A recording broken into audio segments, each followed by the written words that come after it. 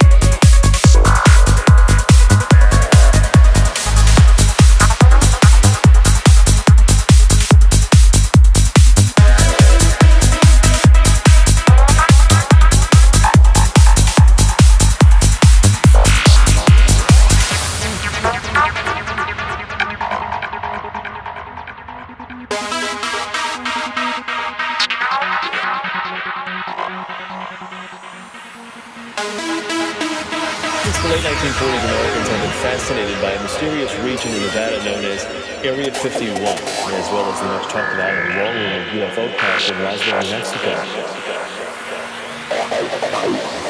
Area 51.